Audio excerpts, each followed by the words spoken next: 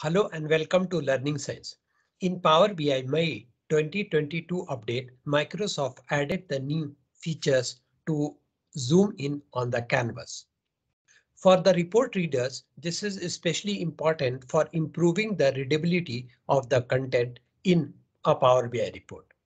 For report authors, this helps to magnify the canvas to make sure your report is pixel perfect.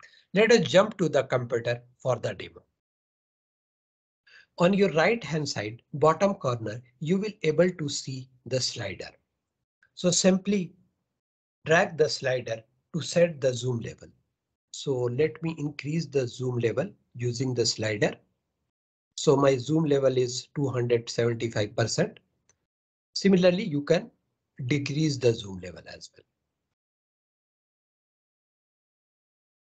Now here you can see the zoom level percentage. Click on the zoom level percent to launch the zoom dialog box. So let me click here. You can you will be able to see the different kind of the zoom level. Fit to page.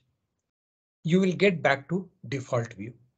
Custom you can set your own zoom level. So let me set 400%. I click apply. Now it will be the 400%. To get back to the default view, you have to select fit to page. Here you can see fit to page. If you click on the fit to page, you will get back to normal. That's all for this video. Please subscribe to our channel for amazing videos. Thank you for watching.